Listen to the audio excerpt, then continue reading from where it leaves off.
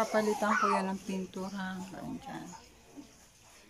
So, start na tayo magpintura.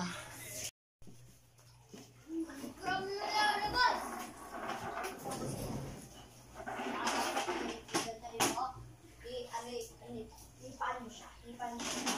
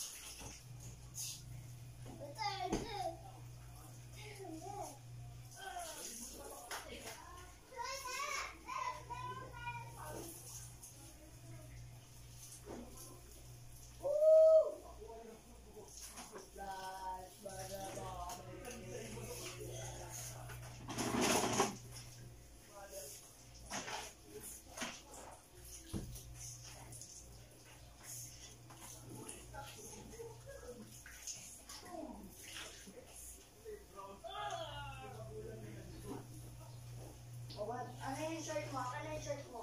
Mano ka dito? Ano yung shirt mo? JD, wag yan! Dito, dito! Yan. Umupo ka kasi doon eh. Umupo ka na kasi dito. JD, ayoko na nga din ako sa bahay.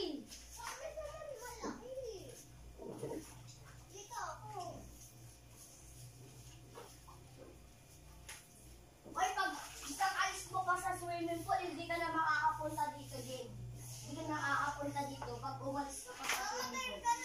Kaya huwag ka na pupunta dito sa swimming pool pag umalis ka na dito.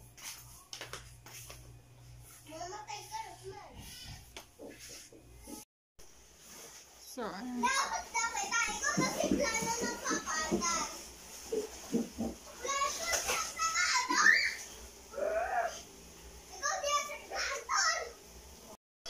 So, ayan, hindi ko pa natatapos. Doon, natapos ko na.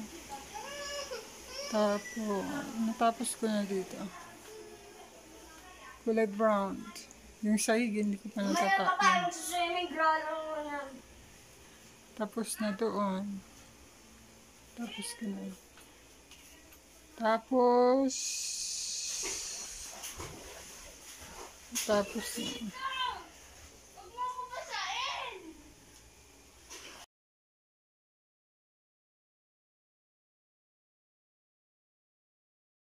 Good morning guys. So, ayan, natapos ko na yung ano, nagpintura ko. Natapos ko na yung mga ibang decoration ko. Hindi ko pa nalilipat.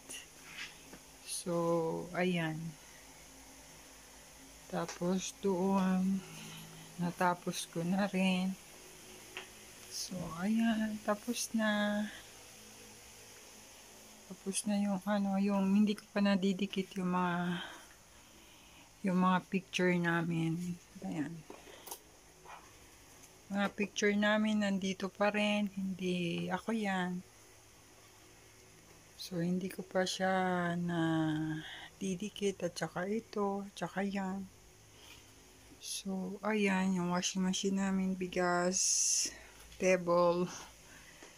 So, ayan. Ayan.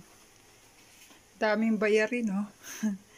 resibo ng, ang PLDT lang ang wala dyan. Yan yung mga resibo na babayaran namin.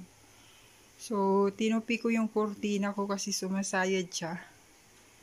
Eh, hmm, super mahaba. Kasi nga, sukat niyan is doon sa house namin. Yung kurtina na yan, hindi dito. So, ayan. Nakakurti, ah, nakakurtina, ano ba yan? Naka-OCR namin. Nandiyan yung ano, tuwalya namin, toothbrush sa labas. Ayoko sa loob ng CR.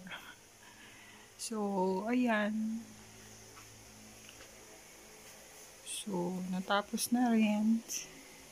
Yung sahig, lalagyan ko yan ng, ano, ng carpet. Maglalagay ko ng carpet sa sahig. So, yung anak ko natutulog, ang dami niyang toys sa taas. Ayun, oh. Ang dami niyang toys.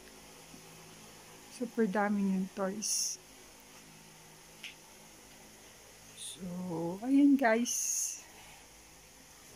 'Di ba? Marunong ako magpintura. Ayan. Nakapintura ako. So, ayan. Thank you for watching, guys. Sa mga LS na pinapanood ko sa inyo. Pinapanood ko talaga yun, guys. So, salamat. Minsan hindi ako nakaka-reply kasi nga, eh, Ramadan. Medyo busy ang, ang lola ninyo. So, ayan. Ito kwarto to eh. Ito kwarto to mga guys. Tapos giniba ko. Pi- Pinagiba ko. Kasi nga, medyo masikip na. So, pinagiba siya. Tapos yung kwarto namin nilipat dito sa tabi ng aircon.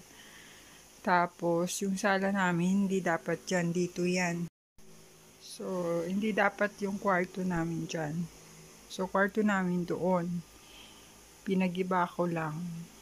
So, etong sala namin dito dapat yan. Yung kitchen namin doon yan sa labas. Kaso pinalipat ko. So, ayan, nagre-reply ako. Yung laptop na isa ay nag-shutdown na. Nandun sa baba ng table.